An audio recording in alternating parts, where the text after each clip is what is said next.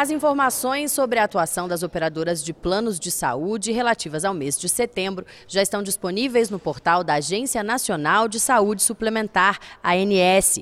O índice de reclamações das operadoras de planos de saúde traz a média das reclamações recebidas, os percentuais de finalização consensual e a média de abertura de processos administrativos de cada operadora, o que permite comparar a atuação das prestadoras. A ferramenta é atualizada mensalmente e utiliza dados dos últimos três meses. Além disso, as operadoras são agrupadas em pequeno, médio e grande porte para facilitar a comparação.